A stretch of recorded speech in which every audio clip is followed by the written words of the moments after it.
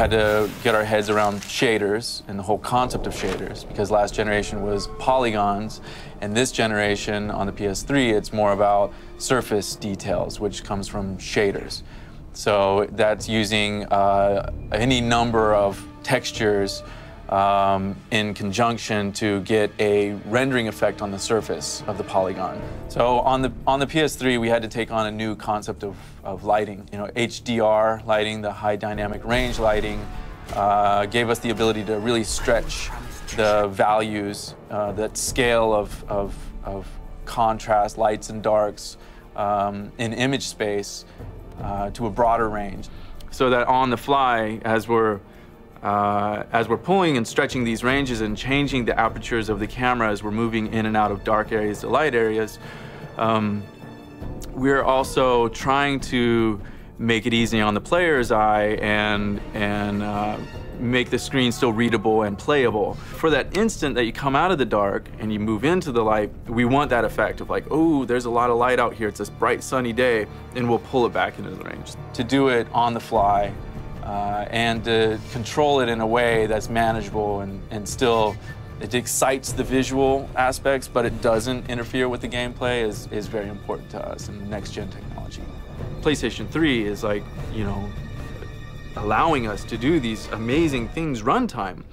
We're hitting over, I mean, easily over 30 frames a second in some complex environments that have all this wind gusting around and it can be this nice little breeze and we can then push through an actual gust that like churns it up a little bit and then it settles back down. And then we're actually getting a, a runtime shadow calculated on on the background. And then the hero walks into it and he gets it too. So he gets this dappled beautiful dappled light of these shadows and light playing across his body. We decided to take on water. And if you're to do water it has to look kick-ass. You want to make really nice water. So has to feel wet it has to look like the player is interacting with it and if you shoot the surface, you want it to, to react to that shot.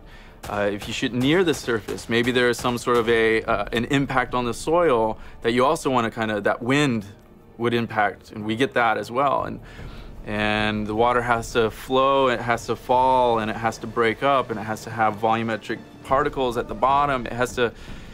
Water's hard.